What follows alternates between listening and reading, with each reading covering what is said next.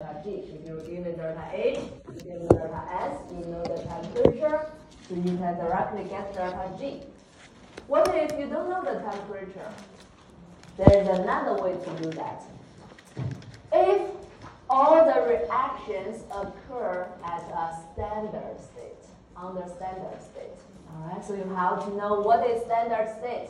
In chapter 6, you learned that. I asked you to go back and review chapter 6. So what is the standard state? For different state, for different for the substance under different states, we have different definitions. If you have gas, if you have gas, you must be pure gas and then at pressure one atmosphere. So that state we call it a standard state, which means okay if I say the gas is under standard state, you immediately know the pressure. Right? The pressure is uh, a hidden information given. Pressure is one atmosphere. So for the solid and the liquid, here we mean pure solid and pure liquid. The standard state also require one atmosphere pressure and also is a temperature of interest. In most cases, we have 25 degree as an interested temperature. Okay, room temperature. We call it room temperature. 2980, 29080 Kelvin or 25 degrees Celsius. And for the solution, this definition for the standard for solution, it will be important for chapter 19. So keep in mind. So the solution we define with the concentration of one molarity. Oh, so you're actually, if I tell you the solution is at standard state, you're given the concentration, so one molarity. Okay, so that is for solution. So the how to define the standard state is very important because there are a lot of hidden information here. And usually we use a symbol, the superscript zero, to represent a standard state. If you say the super zero here, that means standard. If you see the delta S with the superhero zero, that means it's standard state. Oh, if it's pressure, I know it's one atmosphere. If it's solution, I know it's one molarity. Right? So that is the symbol. Okay? That is the standard state. Okay, so just review a little bit. So now we have absolute entropy. We define the absolute entropy. Basically, it's defined the amount of energy it has due to the dispersion of energy through its particles. So it looks like, ah, what's that? So, but if you look at the further definition, it's, much, it will be easier to understand. So we define if the substance got a perfect crystal, perfect crystal, which means very organized, no randomness at all. Right? If I I say, okay, I'm going to assign a number for each of you in the ACS exam. You must sit based on that number. So you have no randomness at all. You cannot say, okay, can I sit there? Can I sit back? Can I sit in front? No, you have a number, sit there. So no randomness at all, right? So that is a perfect crystal, very organized, no randomness, so no entropy. So it's, we define that the absolute entropy is zero. But of course, that is an ideal situation, so it won't exist. So all the absolute entropy for the substances should be positive. Everything should have some randomness. Okay, there's no perfectcy. So all the absolute entropy for the substances is positive.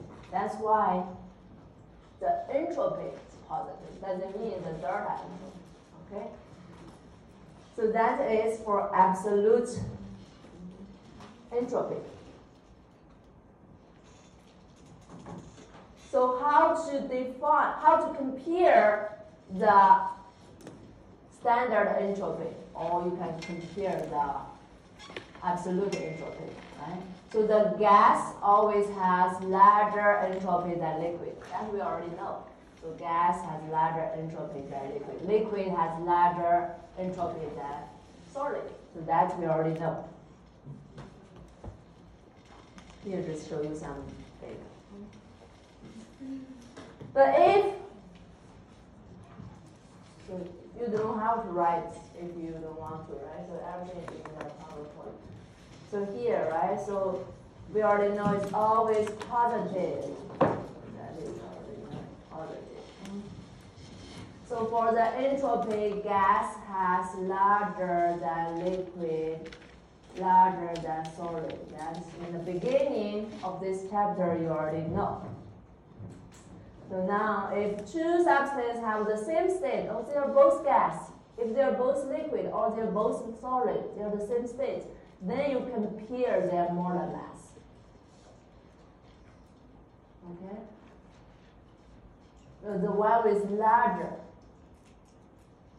larger molar mass gives you larger entropy.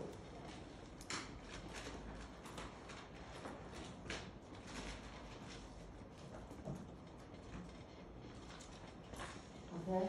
So larger molar mass, larger entropy.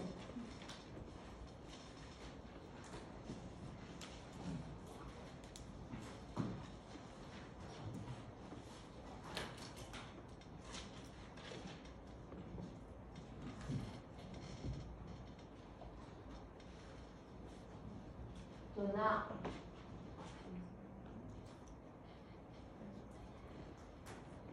standard state, you already know, the mention. So now, we can calculate the standard energy change based on the energy of formation. So we already learned that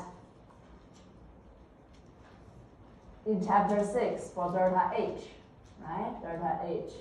Let's start with the, the one you're familiar with, delta H. And now today we're going to learn delta S. Must be standard. I put zero in standard. Okay? Standard. So anyone still remember the equation for delta H reaction if you have formation?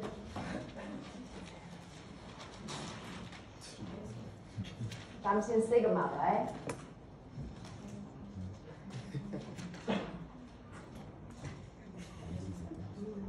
Always use your product minus your reactants subtract your reactants from your product. Okay? So your reactant, or your product. And uh, in most cases, you have to consider stoichiometry coefficient number. The coefficient number should be considered product. And because you may not have one product, you may got two or three or multiple, so you put a sigma. Means you have to add all the energy change for your product. Then you subtract this reactant.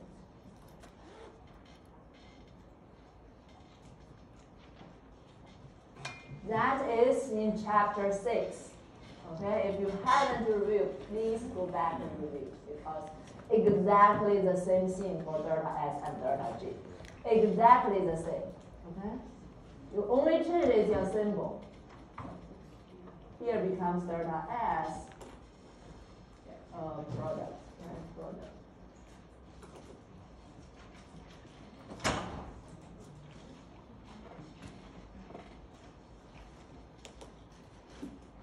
Don't forget, standard. Okay? So here, also the same thing. Product. Delta G product. And uh, here should be delta product F. right? Means formation. Hmm? Means formation. Because this can be found in the table. So it's already been found out and me- measured. Formation, right? formation. Reactant. G, reactant. So uh, F. And this means, for F means formation. So these equations are exactly the same. If you know one of them, you know all of them, right? And if in the question you're given delta H and delta S formation, not delta G, so you, of course you always have delta H minus T delta S. This still work. Okay, this still work.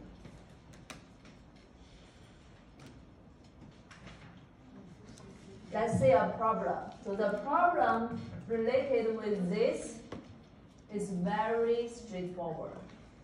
Very straightforward. The only thing you need to do, you have to know this equation. For example,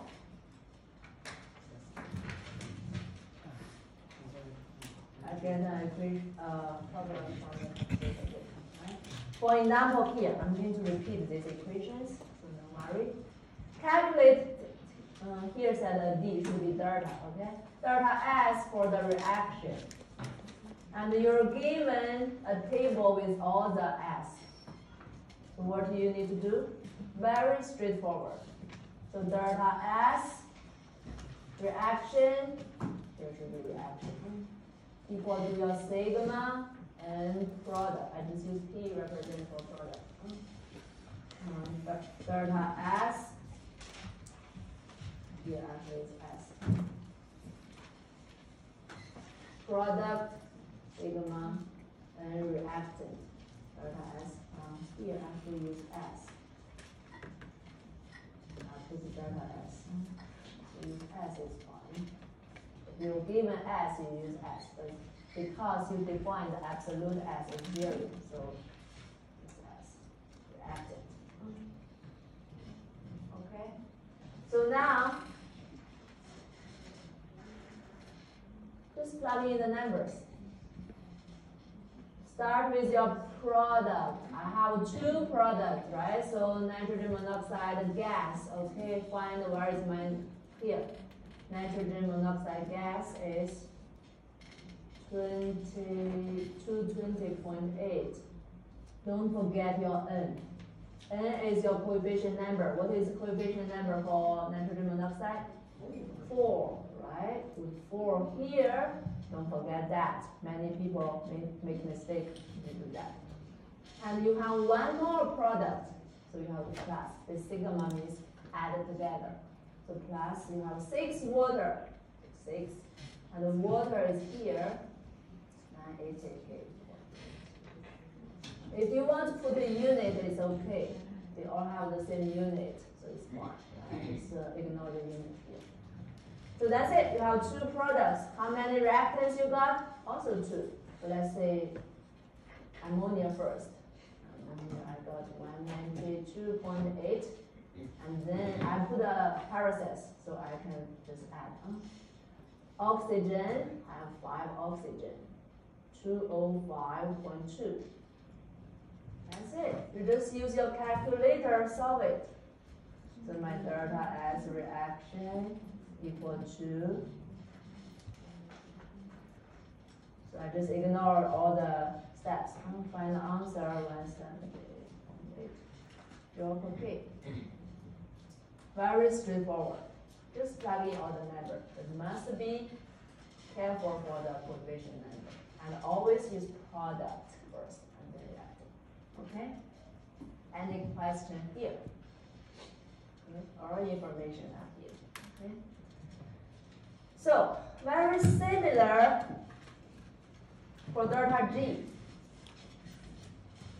So you're given the equation, reaction equation, and then you're given all the delta G formation.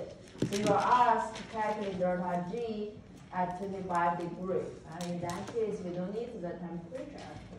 The temperature just tells you it's a standard state, right?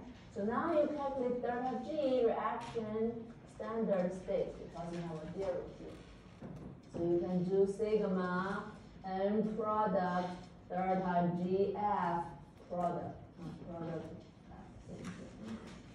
and then reactant delta G reactant. So now just plug in the numbers.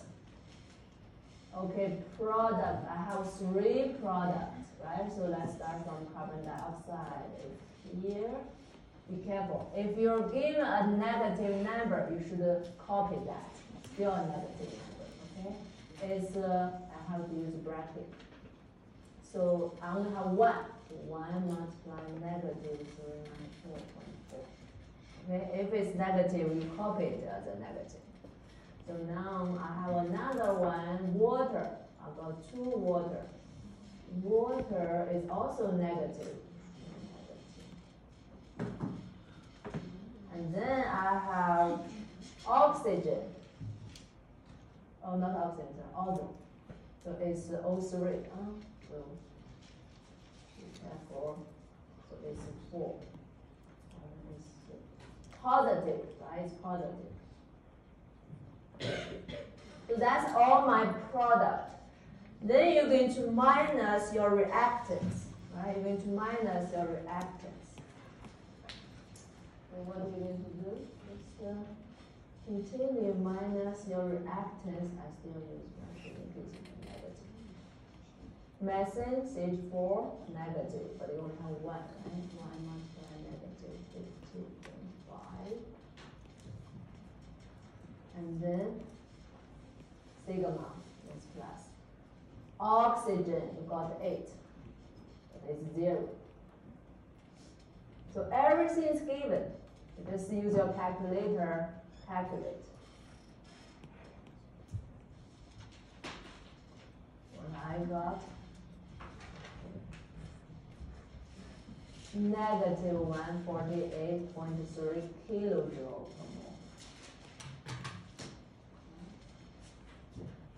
So it's spontaneous or not spontaneous? Delta G negative. Spontaneous. Yeah, the question can be changed, not ask you delta G, but ask you if this reaction with this information is spontaneous or not spontaneous. So you still need to calculate delta G, right? So it's a spontaneous process. So again, the question related with this type, this equation will be very straightforward. But there are a couple of things you need to be careful. For example, here, you have to remember for all three elements, the delta G formation is always zero. Free element means like uh, oxygen, O2, or chlorine gas, Cl2, hydrogen gas, they are all zero, okay? For all this, the delta GF will be zero. I tell you that is because sometimes in the question this information is not given. You may think, okay, I need the delta G information for oxygen. No, it's defaultly think you should know it's zero. Okay, if you think you missed it, it should be zero. Right? So just careful for that. So before that you guys go, next class we're going to do this, we're going to do another way to calculate delta G, but it's also exactly the same as you did for your chapter 6, the Hess law here. Please go back, review this Hess law. If you know, if you remind, if you remember that, it will be much easier to do delta G. Exactly the same method. あっ。